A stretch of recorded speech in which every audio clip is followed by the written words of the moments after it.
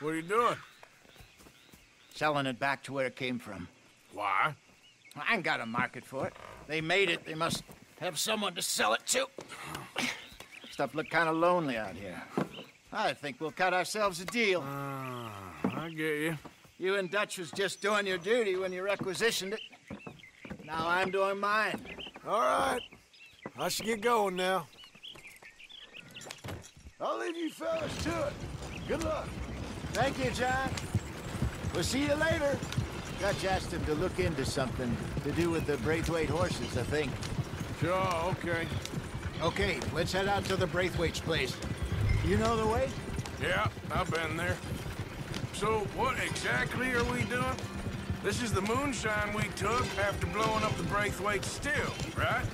I think the good citizens taking the trouble to return their stolen goods deserve some reward, don't you? And it's time we made a formal introduction, like Dutch told us. Look, these are two big old plantation houses, and all I keep hearing is they hate each other so much they can't see past it. I know. I've seen it. There's a gray boy and a Braithwaite girl carrying on a secret affair. I've been, well, helping them. The mind boggles. You think they're of use? Here we are. Modest little homestead, isn't it? Hello, gentlemen. How are you? What's that in the back there? Moonshine, my fine fellow. May I have a word with the man of the house? The man of the house is a lady. Mrs. Catherine Braithwaite. May I speak with her? I want to discuss a business opportunity. I mean no harm. No harm at all. You may happily shoot me if I do. Okay, okay. She's at the house.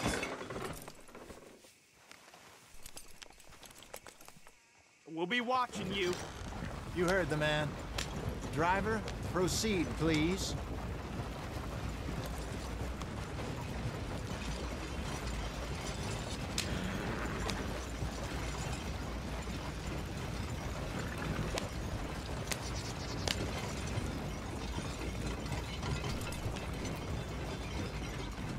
What you want?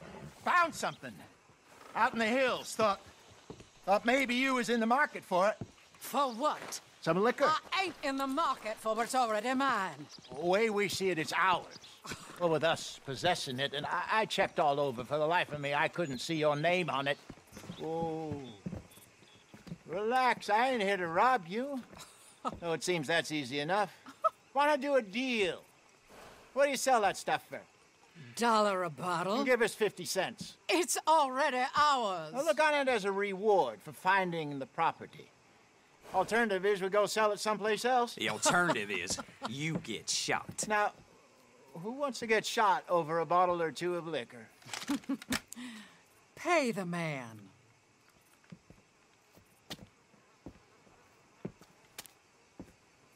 Pleasure doing business with you. And listen, uh, we didn't take it. At least not without orders from... Oh, I know exactly who gave you your orders. Old Sheriff Gray. You know what? I don't want it. In fact, sir, now you can do me a favor. There's an extra ten bucks if you do. Drive the stuff into Rhodes, head over to the tavern run by Mr. Gray, and give the stuff out for free. Mama! Hush now. I believe they call that a promotional expense. As you wish, madam. You boys come back sometime and tell me how you made out. Maybe we'll play a little cribbage. All right. Next stop, the Rhodes Saloon. Here we go.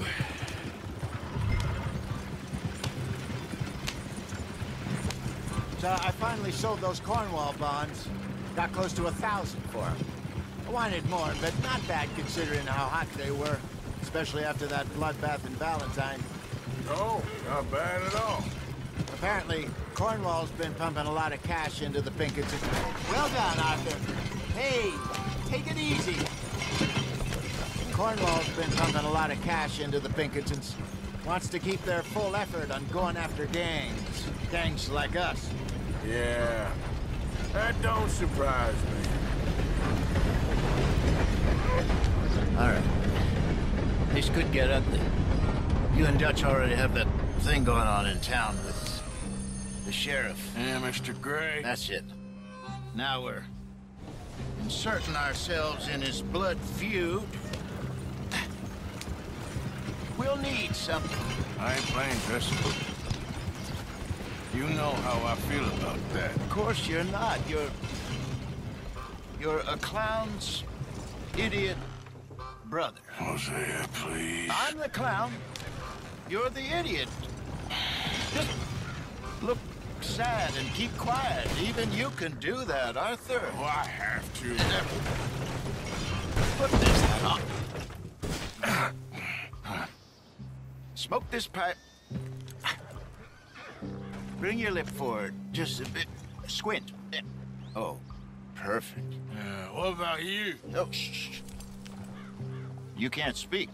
You're turned idiot. Quite broke poor mammy's heart. There, there. You Fenton. There, there. Don't get mad now.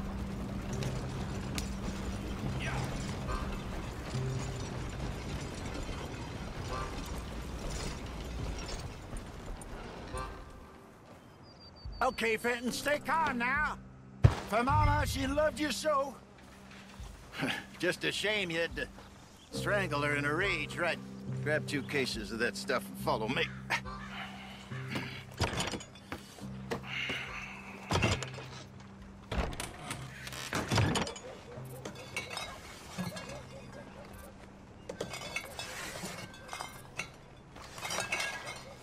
Gentlemen!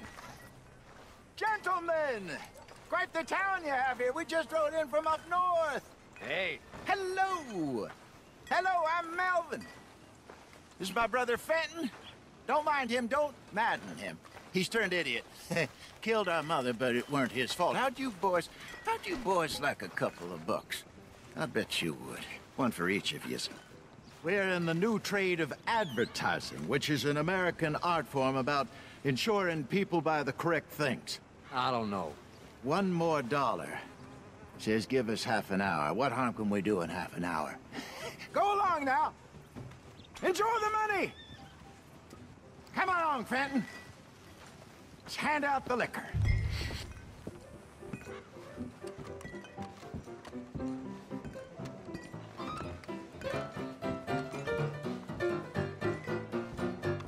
Gentlemen! Gentlemen! My name is Melvin. That's my brother Fenton. He's a bit funny, but boy, can he pour drinks fast. For the next 30 minutes, the drinks in this here bar, in this here town, are entirely free. The only rule is that you gotta drink them. So hurry up, put old Fenton to work. Don't get him mad, though. His mama made him mad, and we buried her. Poor thing. Ah. Now come up to the bar, everybody. Come on, fellas. It's your lucky day. I'll have one, Fenton.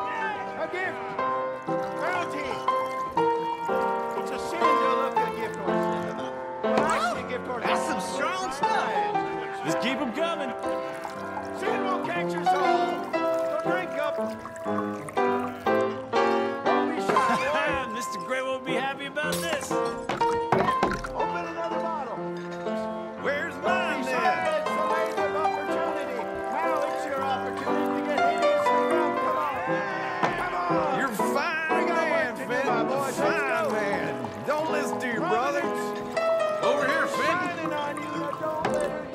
Down,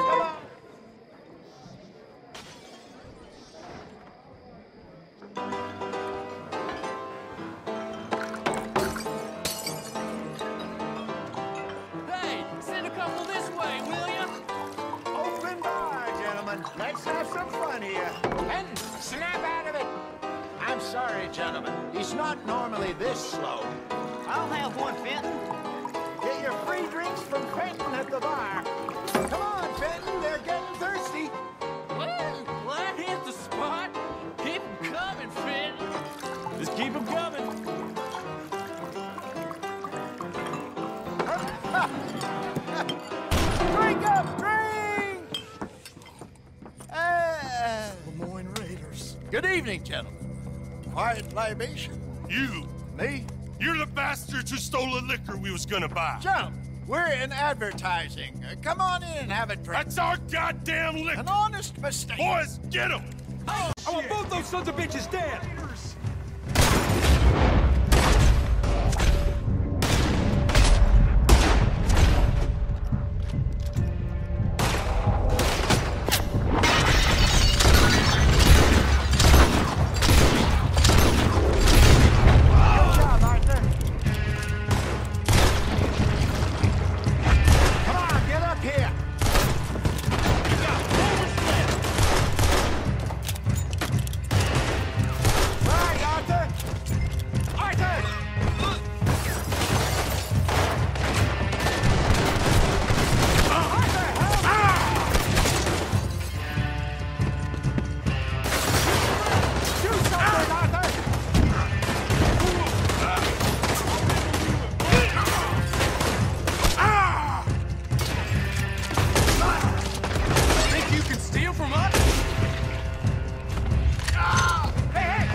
Hey,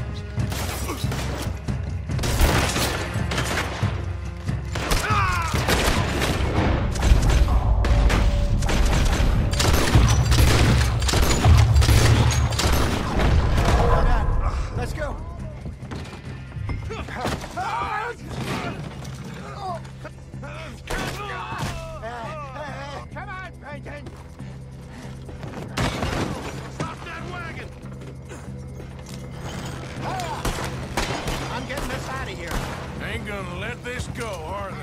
I found him over here. Over there! They got out the back! Got more coming after us. I see them.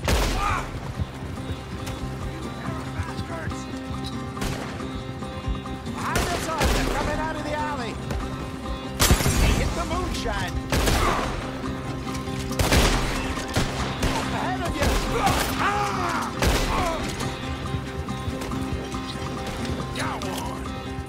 those sons of bitches!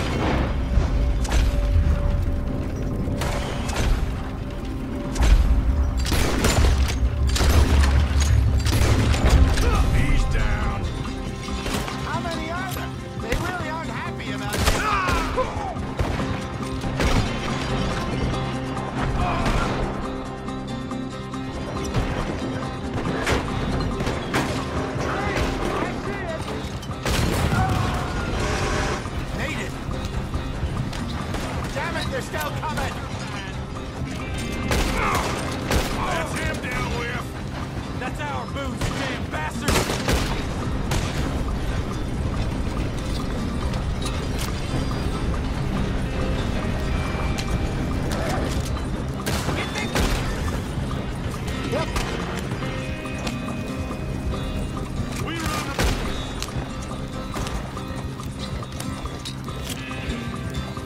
See any more of them? Don't think so. Jesus, all this over a few bottles of booze? I reckon it's more they don't want another gang on their patch.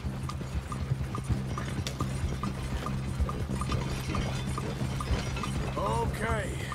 Pull off the road here.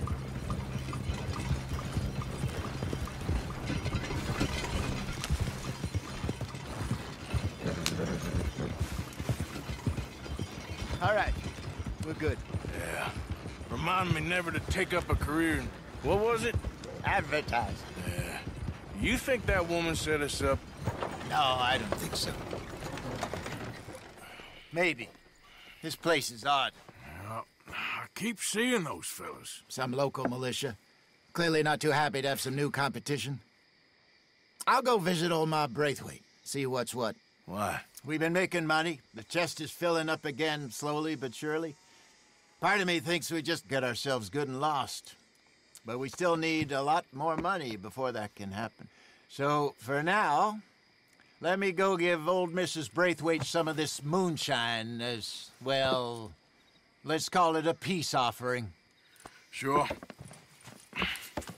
That was fun, Fenton. We'll make an actor of you yet. I'll go speak to Dutch.